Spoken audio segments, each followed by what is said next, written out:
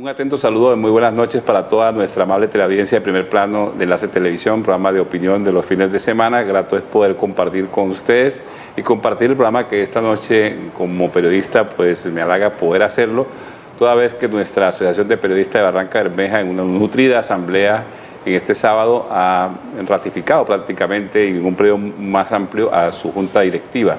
Por eso nos acompaña en esta noche el reelegido presidente Francisco Campo, a quien lo felicito y muy buenas noches, presidente. buenas noches, colega, muchas gracias por sus palabras. Balance de la jornada hoy, ¿cómo, cómo la define?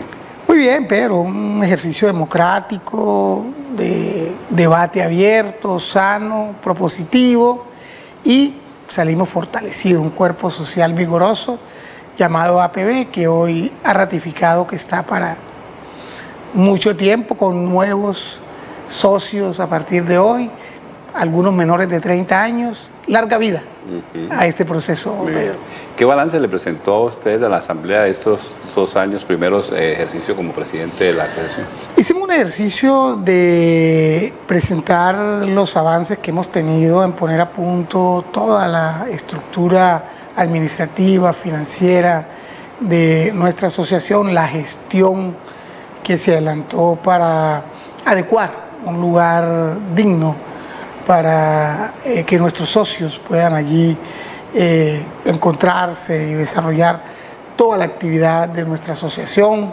Eh, estamos haciendo el esfuerzo de, llenar eso de un inmobiliario que esté a la altura de lo que somos nosotros, de las nuevas instalaciones y la relación que hemos heredado de nuestros mayores en la APB que es una relación permanente institucional con el orden municipal, con el orden departamental y con la empresa privada de la región, con la cual eh, se tiene una excelente relación y por supuesto eh, nuestro producto elaborado, el premio Pluma de Oro, que se ha seguido desarrollando con lujo de detalles y la proyección que tenemos. En lo fundamental fue el informe eh, digamos, de contenido un poco más político.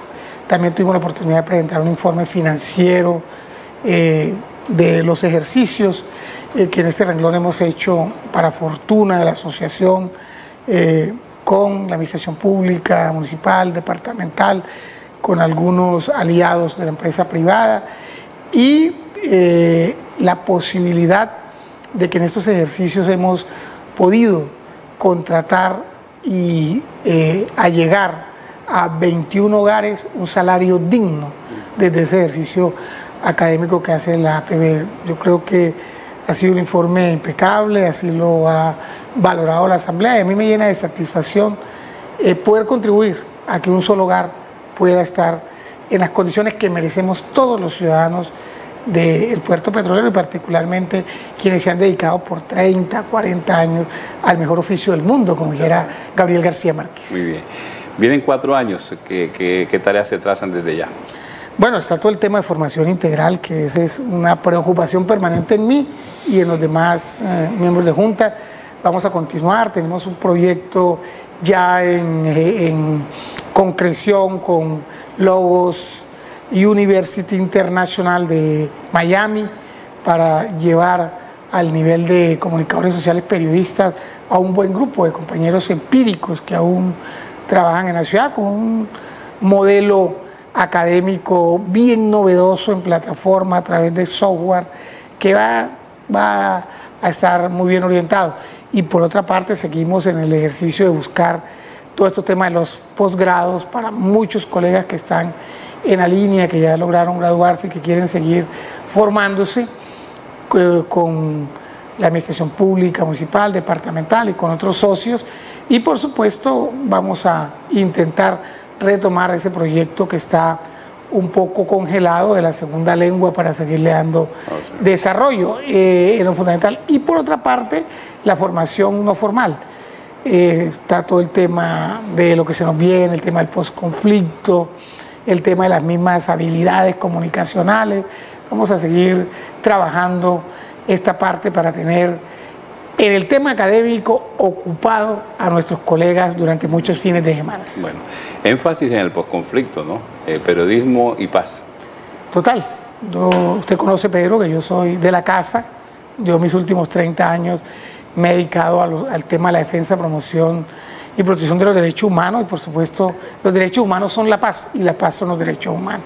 Eh, es mi tema, ya hicimos un ejercicio importante el pasado 28 de febrero, vamos a seguir coordinando con todo el que tenga bien impulsar este tema para que los comunicadores sociales podamos estar en primera línea, frontline, ahí en primera línea con el tema porque nuestra labor social es formar e informar.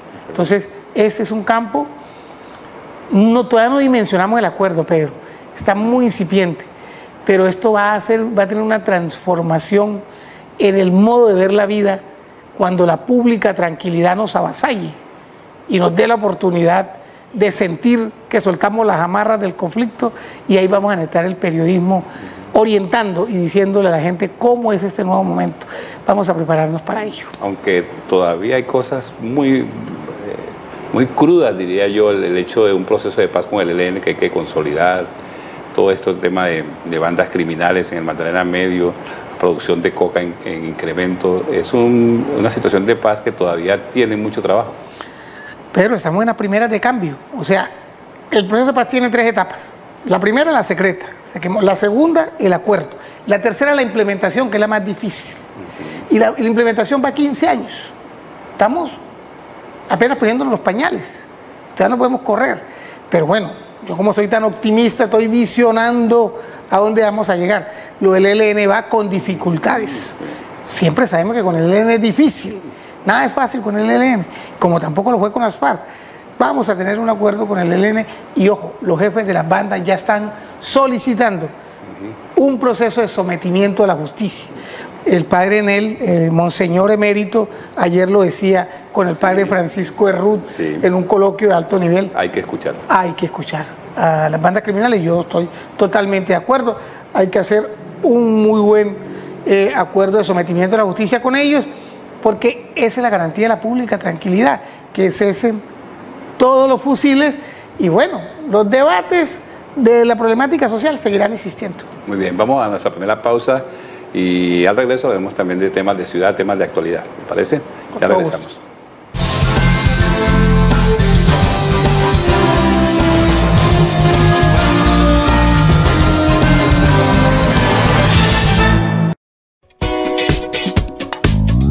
Comerciante o empresario, esto te interesa. Renueva ya tu matrícula mercantil en la Cámara de Comercio de Barranca Bermeja hasta el 31 de marzo. Y recuerda que Ser Formal promueve el desarrollo sostenible de nuestra región. Para más información, llámanos al 602-0202, extensiones 205, 202 y 224 o visítenos en la calle 49, número 1270. Cámara de Comercio de Barranca Bermeja, unidos por la competitividad.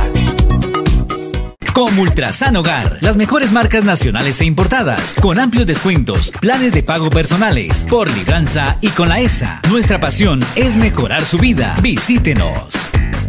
Nos conocemos de toda la vida, crecimos juntos, desde siempre te hemos entregado los mejores precios. Aún así, nos preparamos cada día como si fuera el primero. Somos tu casa, Autoservicio La Quinta. ¡Qué bien! Que no se apague tu luz, que no Iluminación Yarguíes pone a disposición su línea en caso de daños. 611-6285. Que no se apague tu luz. Iluminación Yariguíes, la empresa de alumbrado público de Barranca Bermeja.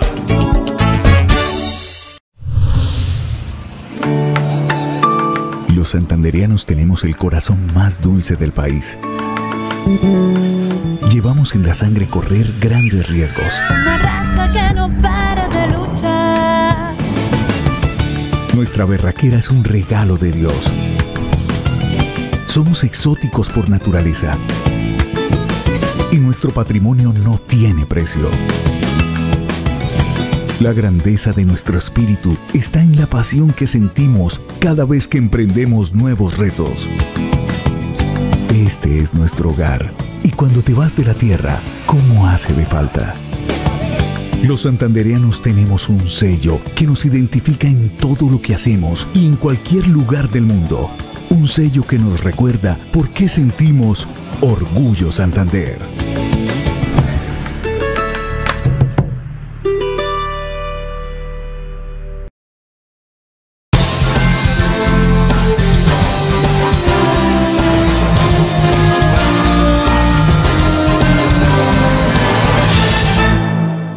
Segundo segmento de primer plano, enlace televisión y como lo habíamos anunciado, eh, temas de actualidad relacionados con nuestro municipio, en nuestra cotidianidad. El alcalde de Barranca Bermeja esta semana ha estado en la ciudad de Bogotá dialogando con el presidente de Copetrol, Juan Carlos Echeverri, luego de la visita del presidente Santos a Barranca Bermeja y su nuevo compromiso de un plan de modernización de la refinería de tipo modular. Pero todo indica que hubo una frustración en su encuentro con, de Echeverry con Echeverry y lo que se habla ahora es una propuesta de movilización del alcalde de Barranca Bermeja. Desde la prensa, ¿cómo se ve esto? Sí, o sea, me parece que el alcalde tiene toda la razón, tiene toda eh, la autoridad para reclamar eh, a voz en cuello. Eh, pero a mí me parece que aquí hay dos cosas. Hay un aspecto político que es la palabra del presidente de la República, que no se puede perder de vista. ¿Cómo seguir manteniendo el reclamo en ese aspecto político, en esa voz alta que ha puesto el alcalde y la cual debemos respaldar todos los ciudadanos del puerto petrolero? Y hay un aspecto técnico. Yo siento que el doctor Juan Carlos Echeverry, que estamos a punto de declarar a persona no grata en estos pueblos, lo que puso unos aspectos técnicos. Y dijo, mire, en el tema del organigrama nuestro no avisora.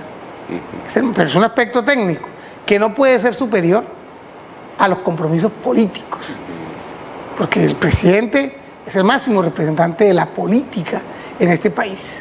Entonces, eh, siento que en esa línea es muy válida eh, la postura del alcalde de llamar a su pueblo a asumir una, una opinión, por lo menos, frente al tema trascendente para nosotros.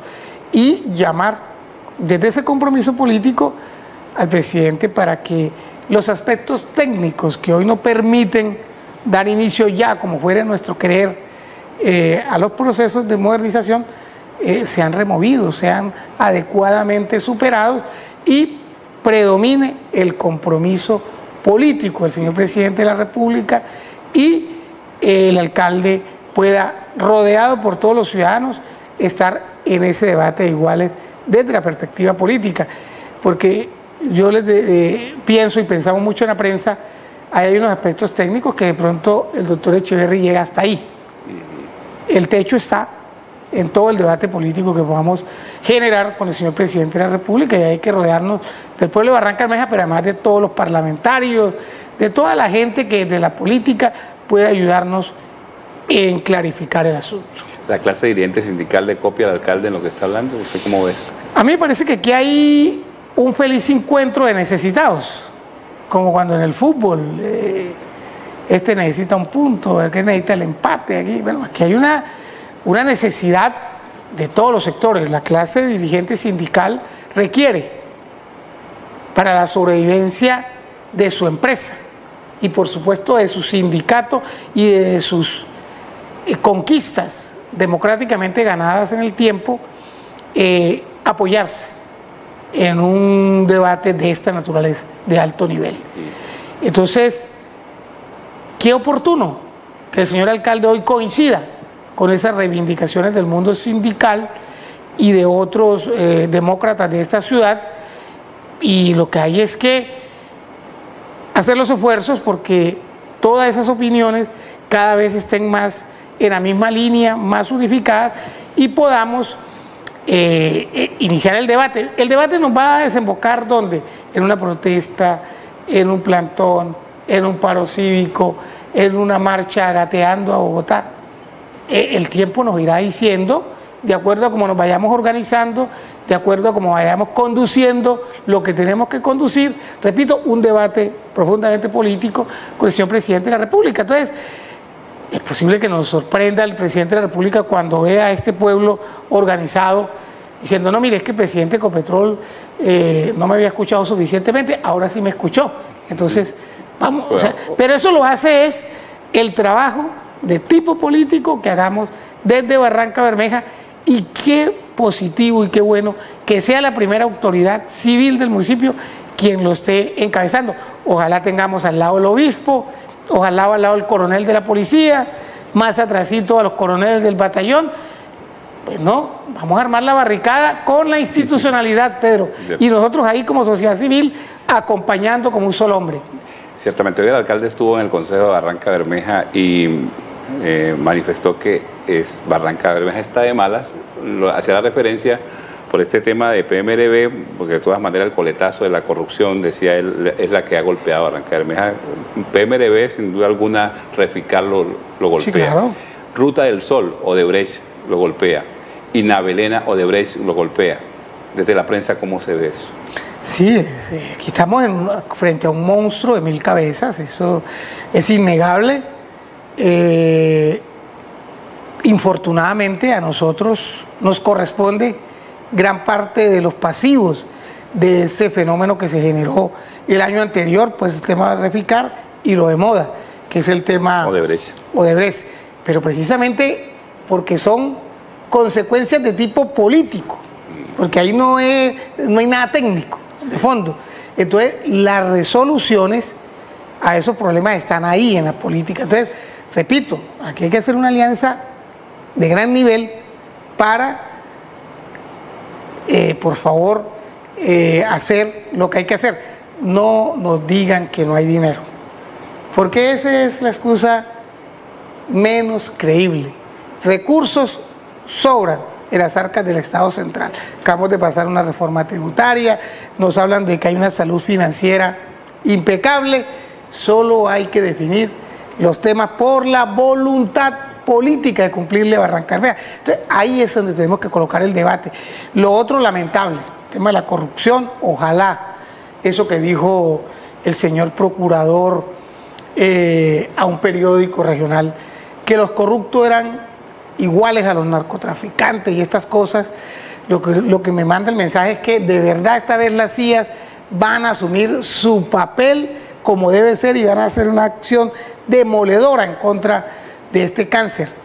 Ojalá y ojalá sea pronto y que eso nos ayude al beneficio en el debate que estamos.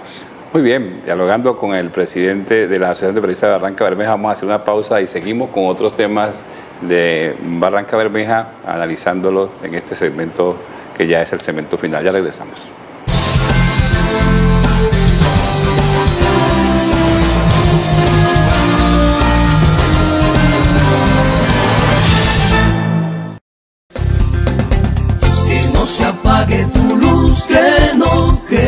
Iluminación Yarguíes pone a disposición su línea en caso de daños. 611-6285. Que no se apague tu luz. Iluminación Yariguíes, la empresa de alumbrado público de Barranca Bermeja.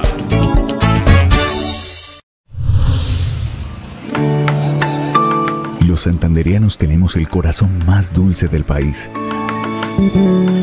Llevamos en la sangre correr grandes riesgos. Una raza que no para Nuestra berraquera es un regalo de Dios. Somos exóticos por naturaleza. Y nuestro patrimonio no tiene precio. La grandeza de nuestro espíritu está en la pasión que sentimos cada vez que emprendemos nuevos retos. Este es nuestro hogar. Y cuando te vas de la tierra, ¿cómo hace de falta? Los santandereanos tenemos un sello que nos identifica en todo lo que hacemos y en cualquier lugar del mundo. Un sello que nos recuerda por qué sentimos Orgullo Santander.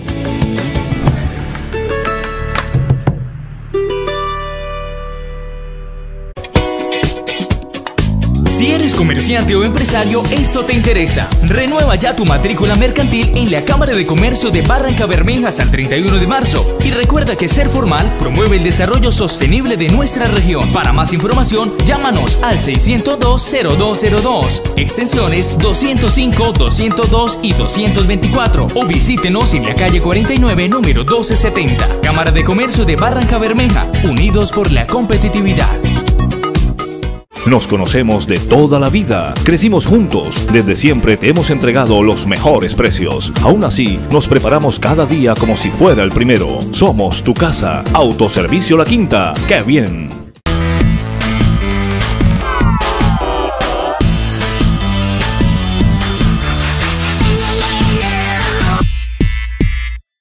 Como Ultrasan Hogar, las mejores marcas nacionales e importadas, con amplios descuentos, planes de pago personales, por libranza y con la ESA. Nuestra pasión es mejorar su vida. Visítenos.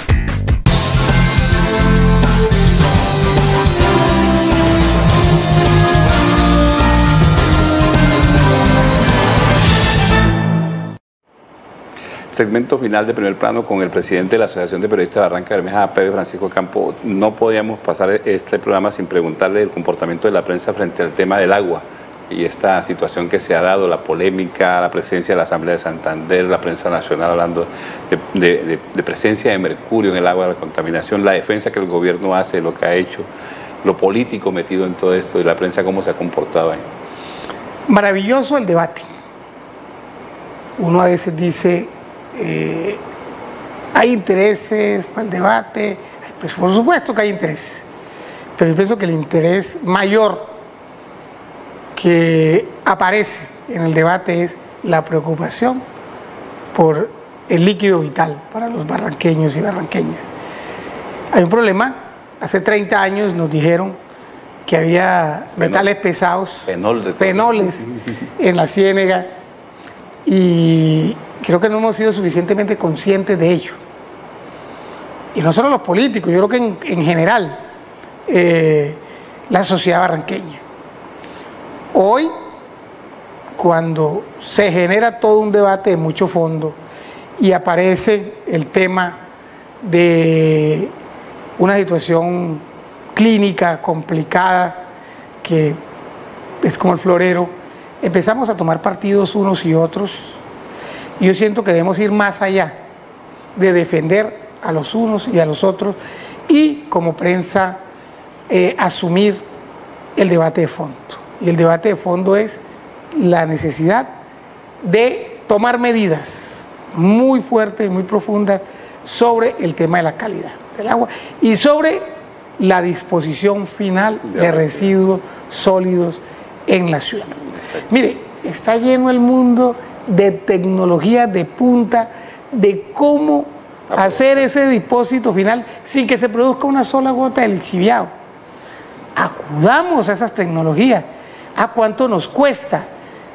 Demos el debate en la ciudad si es que estamos dispuestos a endeudarnos, a poner la totuma, a hacer qué para resolver de fondo el tema. Porque si no cae una gota más de lixiviado a nuestras fuentes hídricas, muy seguramente con los procesos que se están haciendo podemos ir mitigando, superar ese pasivo de 30 años que tenemos con los fenoles, con el tema de los metales pesados, que para fortuna nuestra, algunos técnicos, y yo eh, tuve la fortuna de escuchar aquí a Fabio Hernández, a mi colega, por quien tengo un respeto especial por su seriedad con que está trabajando el tema del agua, nos decía, mire, en tantos puntos de muestra para fortuna de la salud nuestra, solo en un punto arrojó el preocupante eh, metal mercurio y todos estos otros. Creámosles a los técnicos, apoyémoslos para que intervengamos de mejor manera la fuente hídrica, pero lo inicial, pero en lo que debemos avanzar es resolver de manera adecuada el tema de la exposición final de los residuos sólidos y ahí vamos a frenar lo que nos dicen, hay que creer. Yo a veces digo, pero ¿cómo no nos habíamos dado cuenta que teníamos el depósito final de frente en caída libre, donde tomábamos el agua con el relleno de la esmeralda? Es increíble. Bueno, hemos despertado a tomar conciencia, nos ha generado toda esta discusión, el nuevo depósito final que no es el adecuado, busquemos el adecuado. No vale un peso, no vale dos pesos, esas tecnologías, pero son para toda la vida. Entonces, yo creo que valdría la pena darnos, y yo invito a la prensa, a mis colegas, ponernos de frente en esa dimensión, en lo fundamental, en lo profundo, que es la necesidad de que nuestro pueblo tenga la potabilidad y el 100% de la garantía que su agua puede consumir. Bueno, presidente, agotado el tiempo, eh, estaba en muy buenas manos el gremio de periodistas en, Barranca Bermeja con su dirección. Éxitos en esos próximos cuatro años. Muchas gracias y quiero recordar a propósito del aniversario a nuestro colega Raúl Meneses Monsalve que decía se acabó el tiempo pero, Pero no el material, sí señor, sí señor. Muchas gracias Pedro. Presidente, gracias a usted por venir, a ustedes, amables televidentes, mil gracias por su atención, con permiso.